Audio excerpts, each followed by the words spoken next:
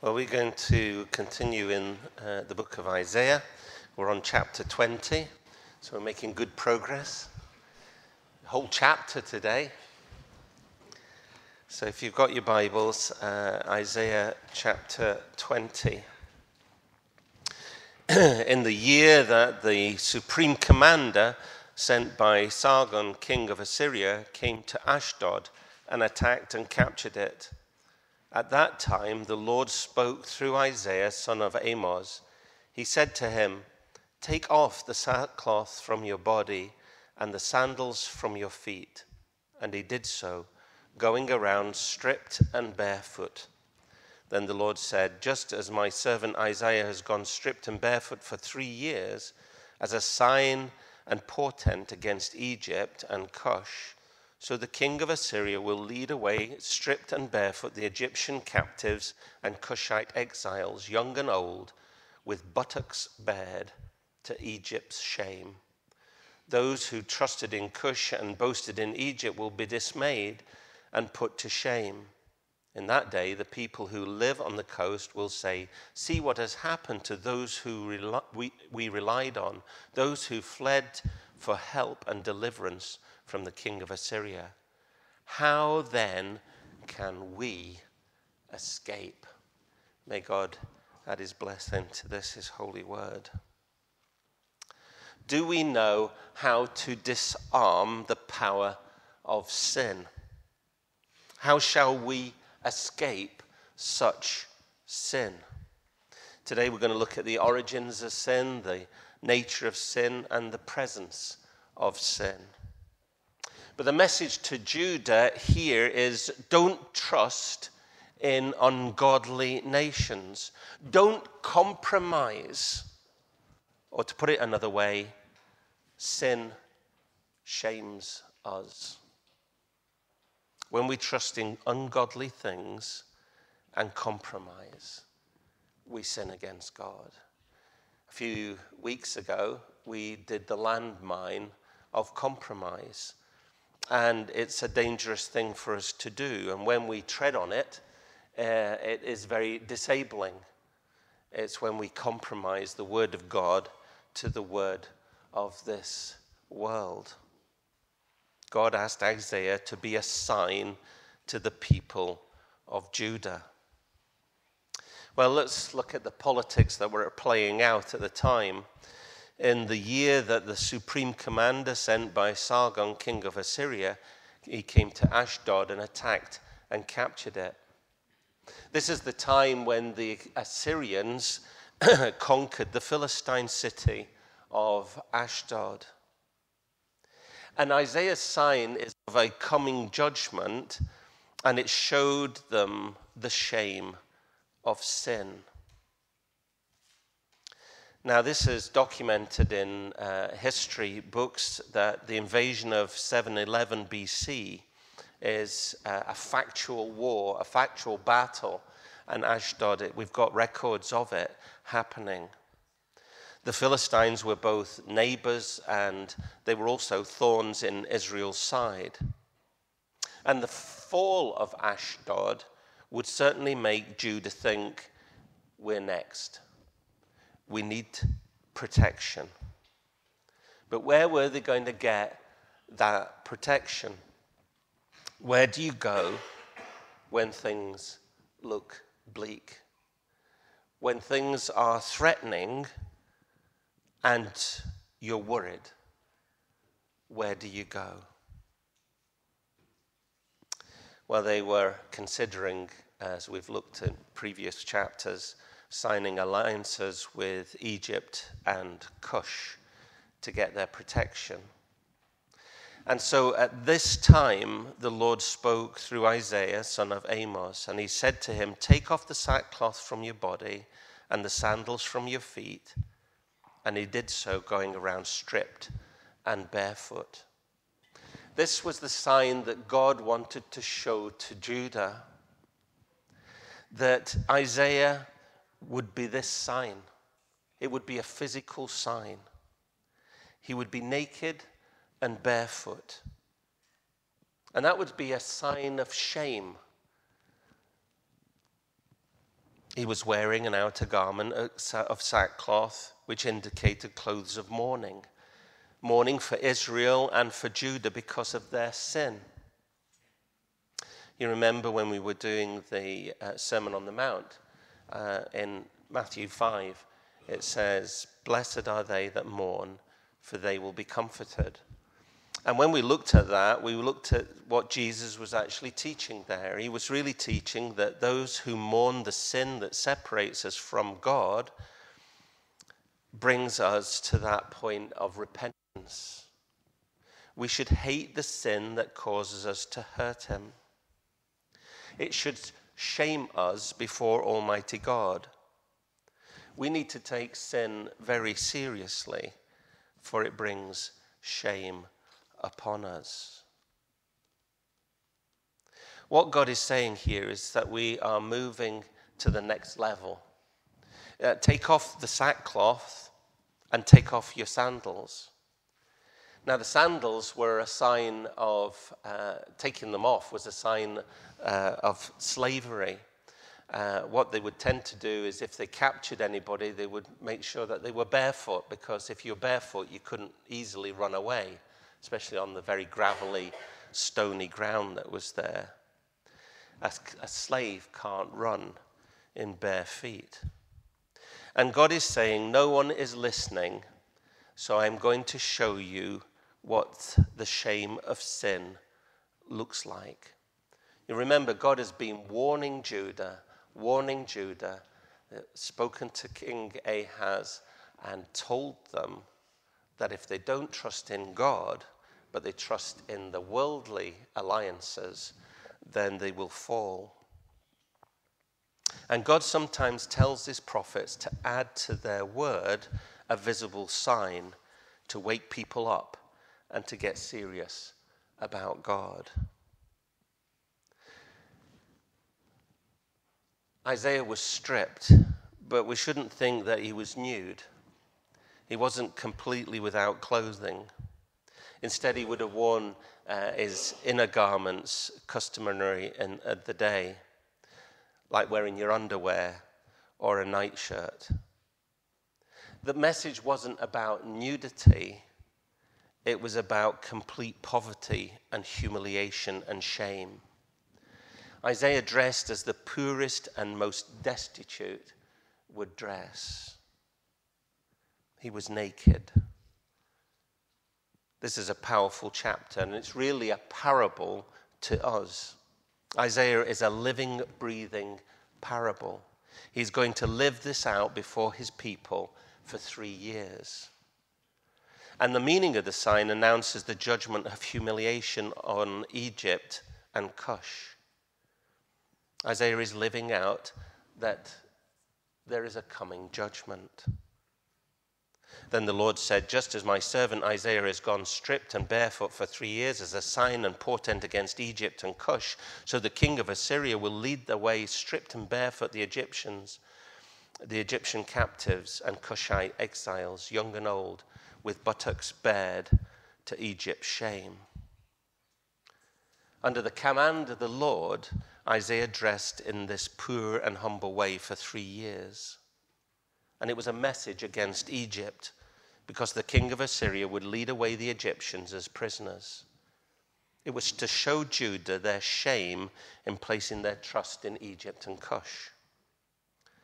As the Assyrians took the Egyptians captive, they would humiliate them by stripping them and leading them away as prisoners.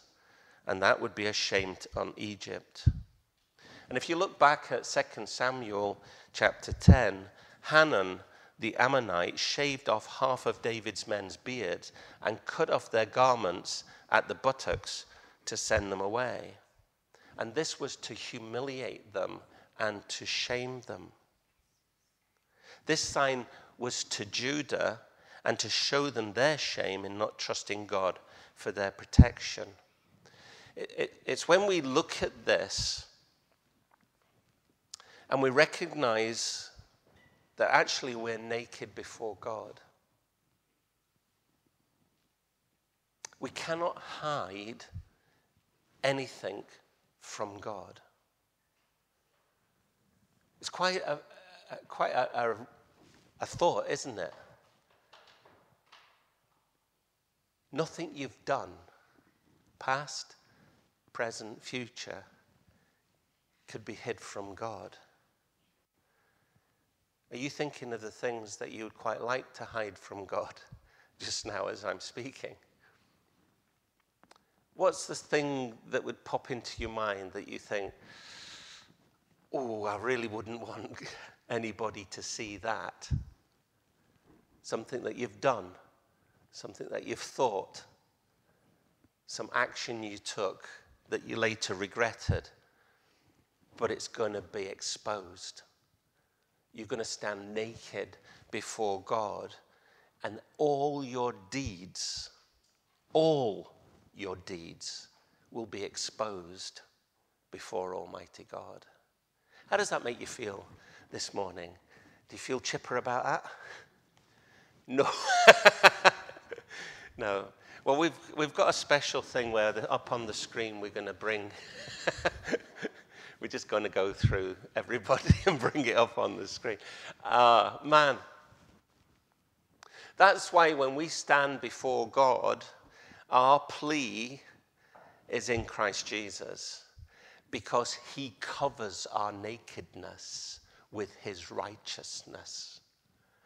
That is the best news, folks, that you can ever hear this morning. You stand naked before God, so he sees every deed, every action, every thought that you've ever had And Christ covers you with his righteousness. I think that's beautiful. If you are outside of Christ, if you don't have Christ in, in your life, if you've never accepted Jesus Christ as your Savior, if you've always held him far off, then you stand naked before God and he sees everything and he judges everything. That is frightening. And this chapter here is showing, it's a parable. And, and Isaiah has become this parable to show the nation of Judah their sinfulness. He's saying, Look, I'm exposed to you all as you will be exposed to God. Trust in Him. Be covered by Him, not by your fear and you looking into uh, alliances with Egypt and Cush. Because Egypt and Cush are going to come under judgment. So, why would you do that? Why would you sign an alliance, an uh, allegiance with uh, a country that is going to come under judgment? When God judges Ethiopia and Egypt, it will be clear how foolish it was for Judah to look to them for protection. Whenever we put our faith in something that's wrong, the Lord will find a way to make it disappoint us. Have you ever done that? I know this is uh, like baby Christian talk, but to check out if you're in the will of God, uh, I would always pray a prayer and say, uh, formulate the prayer. And, uh, if we're intending to go and do this, but if, but if it's not your will, disturb my peace. Uh, we should know the will of the Lord. But it was my way of saying, well, there's going to have to be some sort of mechanism to, to be able to work it out. And when he disturbs your peace. But the thing you were praying about, you wanted, and you ignore that disturbance of the peace and you go ahead with it, then it causes problems and disappointments. I re- uh, Alison was sharing on Wednesday night about the car accident we had. We had a, a Pajero and it, uh, we were on the motorway and it, and it started to break down and we put our hazards on, and a McBurney's lorry hit it. But what happened before that is I prayed and asked God, should I buy that car? And my peace was disturbed, but I still went ahead and bought the car. And then God said, all right, okay, we'll, we'll get rid of it for you. Boom, McBurney's lorry wiped it out, car gone. Why do I know that I am? Because I felt it. Because I knew I'd gone against what God had told me to do and he destroyed it. And that's what uh, it's saying here. Whenever we put our faith in something that is wrong, so we ask God, God tells us, and then we go ahead and do it anyway, then we will be disappointed by it. It will come back and bite us. Judah set their faith in Ethiopia and Egypt but now they're left afraid and ashamed. You see, there's no place of security for the people of God other than that which is found in the rule of God. We need to get this. We need, really need to understand this. Our security is only in God. That's the only place we can find security. We cannot find security in this world because this world will always let us down. And all faith not centered in God is doomed to disappointment. It's, it's really wood, hay, and stubble. But in the car's sense, it ended up in a scrapyard. But it's a good illustration. If you think about our lives, whenever we do things that are generated from the flesh, from a worldly perspective, that's influenced from the world, and leads us to do things rather than from the Spirit, and we go and do those things, it can be good things that we're doing. It doesn't have to be a bad thing we're doing, it could be a good thing we're doing, but it's not of God, then it's wood, hay, and stubble. It's a car wreck. And it ends up in the scrapyard. And that's really what Isaiah is saying here to Judah. If you put your trust in Ethiopia and, uh, and Egypt, it's going to end up as a wreck because I am going to judge them. I'm bringing them under judgment. How shall we escape? Well, the Lord allowed Judah to be backed into a corner, caught between two mighty empires, Egypt and Assyria, without being able to trust either one of them. There was no escape. Have you been in that place? Have you been in the place where there is no escape? Where you're between a rock and a hard place? We have. We were facing bankruptcy.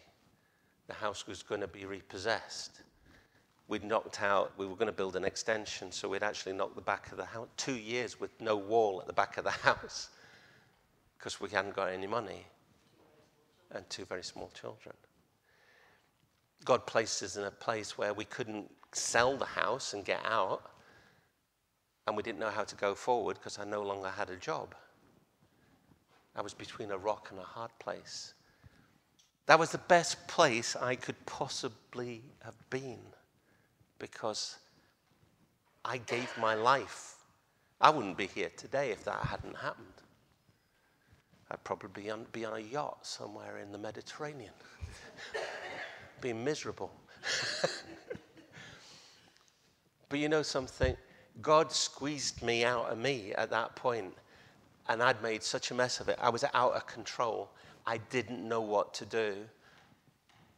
And I turn my life over to. How shall we escape? I turned my life over to him. I said, I've made such a mess of it. I'm going to give you my life now.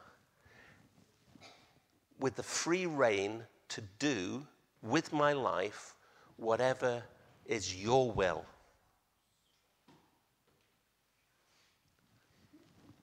That was in July 1991. And that's the only reason I'm standing here today.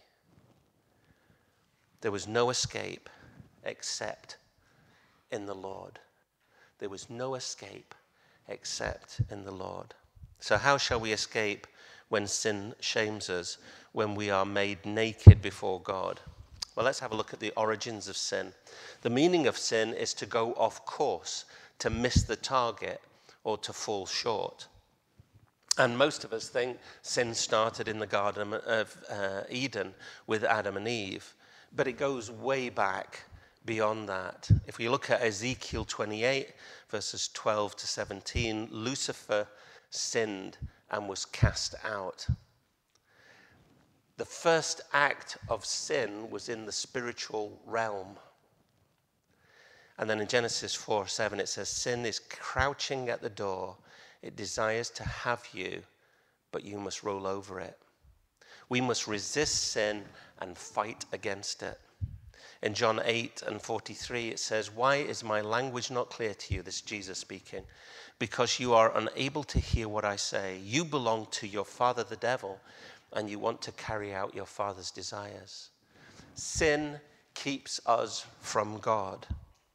But we have to take on board what Paul advises in Romans 6 and 12. Therefore, do not let sin reign in your mortal body so that you obey its evil desires we can fight against sin. And boy, I, from personal experience, I can tell you, you have to fight against sin. You can't lie down to it. And it is a battle, it's a battle of the mind. And you have to be strong in the battle in order to beat it. Don't leave the door open to sin for it's crouching at the door ready to have you. But to all too often, we open the door to sin when we allow the thoughts to become actions. The time to catch it is when it's only a thought. And you need to ditch the thought and change your mind to what Christ would have you do what Christ would think. Every thought needs to be taken captive and placed before Christ. That's how you protect yourself against sin. We need to be so different from the world. We are a holy people, and therefore we should live holy lives, not compromised by sin. And do you know something? when we make that decision to live holy lives, when we repent of our sin and we get right with God, that's where revival starts. You know, revival starts in us. Revival starts in this church. Revival starts with the individuals in this church living a holy life. That is so radically different from the way the world is living that it kicks off a fire that cannot be quenched because the Holy Spirit is on board. When God's people sell out to Him fully and the world sees that we are different, the trouble is that the world looks on us and they don't see anything different. They just see us as them. There's no difference in us. And they're not attracted by that.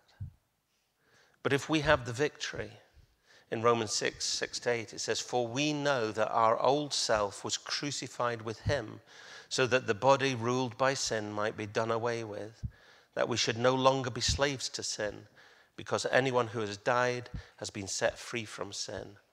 Now, if we died with Christ, we believe that we will also live with him. The moment you trust in Jesus, the old nature is dead the moment, the split second you trust in Jesus, the old nature is dead. You just need to put it to death. When did Rod die? Well, I died on the 24th of March, 1991. And when was I born again? The 24th of March, 1991. That night, I died and I lived simultaneously. I have to remember that sin has no power over me because of what Jesus has done for me. And we have to resist. The best prayer to pray, Lord, I'm yours, fill me with your spirit. Have mercy upon my soul. Fill me with your spirit. So when temptation is crouching at the door, when it's knocking at the door, ask to be filled with the Spirit. Ask for God's mercy. What we're going to do, we're going to fight it. Greater is He that is in me, in 1 John 4 and 4. We've allowed sin to dictate our lives. We've made wrong decisions. We've trusted in people. And now we find ourselves bankrupt. Our trust has been in the wrong place. Judah's trust was in Egypt and Ethiopia.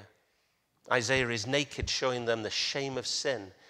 He is living a living picture of sin's shame. And only God can save them. Only God can save us. Only God. We make mistakes when we make alliances with other people. And when a nature, nation forgets God, it's never good. Scotland has forgotten God, and it's not good. So, how shall we escape? Confess your sin one to another, and He is faithful and just to forgive us our sins and to cleanse us from all unrighteousness. We must repent. Do it now. Forsake sin and ask for forgiveness before God exposes it to everyone. There's a thought for us, isn't it? If you are wittingly sinning in some area of your life, God can expose it to everyone. Do we want that? Or do you want to keep it private? Do you want to keep it secret? The trouble is with God, He'll bring it to the front. Well, the nature of sin. Remember, there are powers at work that are trying to destroy us and our church and our families. Satan wants to destroy, and he's a liar. We all have desires that are linked to our flesh, that are desi- designed to draw us away, and that never stop. Have you thought about this? Desires of the flesh. Because I'm going to ask you what they are. Right? Right, I'm going to ask you. Not out loud. but what's a good thing to do is write down the top three desires of the flesh. Write it down. Just write them down because it will prepare you for the attack. Satan will always come and attack you at the point where you're weakest the point where you're weakest is where you desire most from the flesh. Right? So why not give it some thought and write them down and put them in your wallet? Because you don't go there very often. but it's a secret place. um, write them down because we need to know we're in a battle. And that's where Satan's going to come in. So if you're aware of it, if you're aware that that's your weak areas, then you'll be on guard in those areas. You know, Satan will always say, It's okay, go on, jump in. It's fun. It's fun and it's exciting. Go on, just do it. God doesn't mind. God doesn't even know about it. And nobody needs to know about it. And he'll say, Surely God didn't say. And then when you cross the line, he quickly turns to the accuser and he tells that you're a dirty sinner and that God will not forgive you and that you're doomed and that you're wrecked. Satan tells you to do everything until the point you cross the line, and then he's the great accuser. And he makes you guilty. And God can never use you, and God will never use you. And you've let him down so bad, you don't deserve heaven. That's what Satan does. And lastly, the presence of sin. No temptation has overtaken you except what is common to mankind. And God is faithful. He will not let you be tempted beyond what you can bear. The thing we need to remember is ready? This is the thing we need to remember. You ready for this? Don't feed the flesh. Have you got it? Ready? All together then. Don't feed the flesh. Keep do it as a mantra. Don't feed the flesh. It's so important. If you've made the list of the three desires of the flesh, don't feed them. feed the spirit. Don't, you know, C.S. Lewis with the two dogs, wasn't it? There was, uh, there was a bad dog and good dog, and it depends which one you fed was going to win the battle. Don't feed the bad dog. Don't put into your brain the things that are not good for it. Put in spiritual things, put in good things, put in honest things, put in wholesome things. You put the television on at night, switch it off. because there's nothing good on it. It just feeds the wrong side. It feeds the wrong, feeds the flesh. So be very careful. Don't feed the flesh. So, how shall we escape? Stay close to Jesus. Pray every day for the power of the Spirit to keep you from temptation. And when it comes crouching at the door, be ready to run from it. For when we were in the realm of the flesh, the sinful passions aroused by the law were at work in us, so that we bore fruit for death. We need to be honest about our fleshly desires so that we can be ready to fight against them. And we shouldn't be fighting alone but get people to pray for you. Who here is praying for a brother or sister in Christ who has told them about the desires of the flesh? To pray a guard over them. Who's doing that? Because we should. We should be praying for each other. Remember, we are naked before God and can hide nothing. Judah had succumbed to the desires for worldly protection, and Isaiah was a living example as to their shame, for sin shames us. They cried, How shall we escape? And the answer is fight against Satan's lies and pray for the Spirit to resist. Fight, fight, fight, for we have the victory in Christ Jesus, and that is our only way of escape. That is our only way of escape. If you think you can do it in the flesh, you can't. You cannot battle against Satan in the flesh, for you will lose. The only way of escape that we have is in Christ Jesus, and we need to fight for it. Don't feed the flesh. Let's pray. Lord and Heavenly Father, we just thank you for your word this morning. Lord, that we are naked before you, that there's nothing we can hide from you, that you know that we fall short on so many things, that we do have desires of the flesh, but we need to put them to death. Lord, we can only do that by taking the victory that you've given us in Christ Jesus, by prayer meditation, by being in your presence, by trusting in you for everything, by getting alongside other Christians to pray with you. Lord, this is a battlefront. This is a major battle, and it's a battle for the soul. And so, Lord, we would ask that you would be present with each one of us, that we would really not feed the flesh, but we would feed the spirit that, was, that is within us. And in doing so, you do give us the victory over our sins. And so, Lord, bless us and keep us in a very special way. For we ask it in Jesus' name. Amen.